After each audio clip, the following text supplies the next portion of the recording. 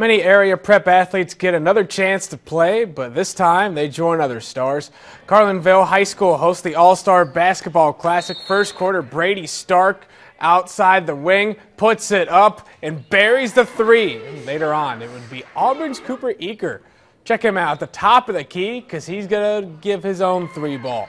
Later on, Hillsboro's Dylan Miller gets the ball and decides to put the hook on it off the glass and in for two.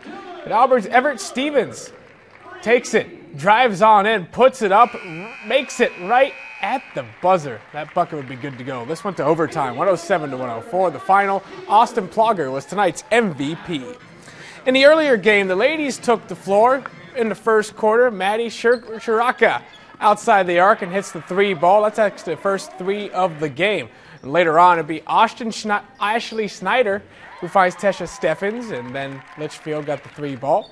Then later on, Snyder makes it around the two defenders off the glass and in for two. And WFNB's Mackenzie Nichols at the top of the key makes the three, and this was a pretty close one. Westwood win though, 46 to 37.